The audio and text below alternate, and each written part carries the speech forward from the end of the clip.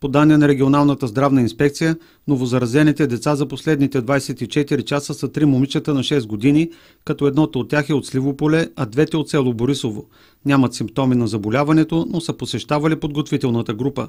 В края на миналата седмица беше констатиран и случай на 6 годишно момче от село Бабово, което също е ходило на детска градина там. Всички са в добро състояние и за това са оставени под домашна изолация.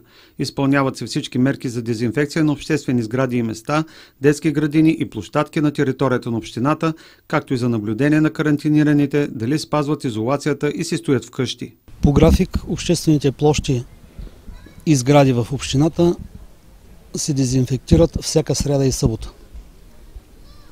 Включително детските градини, когато работеха училищата, всичко това се случва от месец март до ден днешен.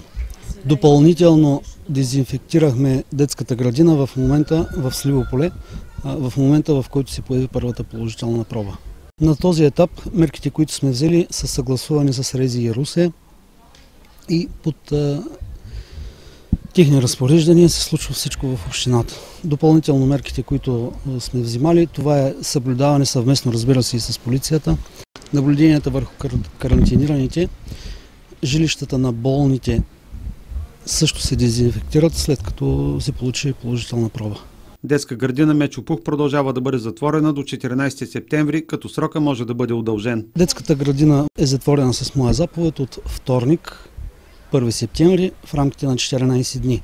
Оттам насетне, в края на периода, Рези ще си каже последната дума дали на 15 септември детската градина ще работи. Броя на заразените в детската градина достигна 13 души, от които 9 са персонал.